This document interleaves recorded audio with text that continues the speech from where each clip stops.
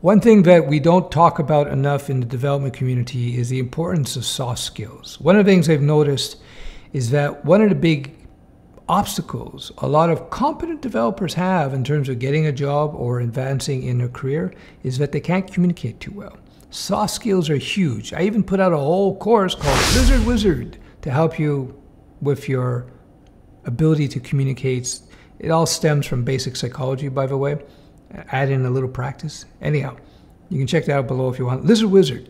That being said, um, soft skills should not be underestimated. Now, I have an article that I just picked up on CNBC, which is a business oriented website and TV station. So I thought you guys would find this interesting. So it says 93% of employers want to see soft skills on your resume. Here are eight of the most in demand ones. Now, this applies to all kinds of jobs, not just development. When applying for a job, there are many ways to optimize your resume. You can check the listing to see where the employer's priorities lie in terms of experience and make sure to highlight what's most important to them, something I talk about all the time. If you're applying for a Python job, make sure you put all your Python experience at the top of the stack. Uh, you can include any major achievements like exceeding sales goals, etc. So it goes beyond coding, but you get the idea. Anyway, one group of skills career experts say is crucial to include in your in your resume. Well, to include is soft skills. An overwhelming majority, 93% of employers, and this applies to development as well, by, by the way, people, people say soft skills play a critical role in their decision about whom they want to hire. Uh, so co-founder Ian Siegel, co-founder of ZipRecruiter, said in the company's recent report, Job Market Outlook for Grads. I'll link to this article under this video. Soft skills include a wide array of abilities. I would say in general, communication is very high on that list right now, considering how people are working in different situations, hybrid situations, etc. ZipRecruiter compiled some of the most in-demand soft skills on its platform. Here are the top skills on that list, including the number of jobs on the site listing the skills requirement. So communication skills, number of jobs, 6.1 million. Related to this, I've cited in other videos where they're asking tech employers, people hiring technology people, coders, they say the number two skill they're looking for is communication skills. Number one, coding, of course, development skills. Number two is communication. But soft skills goes beyond that. If you look here, you have uh, customer service. Okay, customer service, that doesn't necessarily apply, but scheduling. I'm going to group scheduling, customer service, and time management in the same broad category.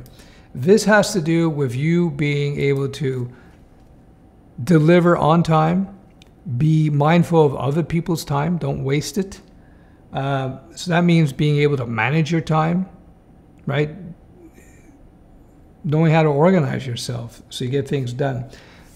You know, let's boil it down to one thing. If you say you're going to deliver by Friday, July 26th, deliver by Friday, July 26th. So make sure you, you follow that rule. People will appreciate you. Uh, analytical thinking, again, this is like par for the course for software development. Basically, when you're software development, you're, analyze, you're analyzing problems and resolving them. Ability to work independently. Yeah, when I talk to people about being a developer, one of the things I look for is somebody who can think on their feet. I don't have to walk them step by step through every single process. You know, you should be able to do things. Now, when you're first starting off, you're going to ask a few questions, but over time, you should be able to be um, you should be able to work independently. Let's close off. Flexibility number of job listings, 1.3 million. When it comes to the importance of communication, in part, as Kelly says, that's a result of the new remote and hybrid work arrangement that rely heavily on tech. How you respond to someone who sent you an email matters, she says in the example. Flexibility means, you know, hey, sometimes, you know, you got to hit major deadlines in development. So yeah, normally you're going to stop working at a certain time, but you know, it's, it's okay. Tight deadlines, work extra hard, get it done, then there's perks for that afterwards, you know, longer vacation, more flexible hours, et cetera, et cetera. So this is all part of soft skills.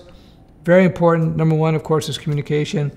And although this article here is very broad, all employers, but I can tell you, I've showed other pieces where soft skills is number two, communication skills rather is number two in uh, software development jobs. So you can be a decent coder and communicate well, respect other people's time, able to manage your own time, able to solve your own problems. You're going to be gold. Fantastic. If you want to learn more about software development, check out the links below. I have the UncleStef.com mentoring bootcamp. Check it out if you want to get the full training experience from somebody who's been developing since the early 90s. Check it out. I will be happy to help you out. If you have any questions, we'll talk soon. Bye bye.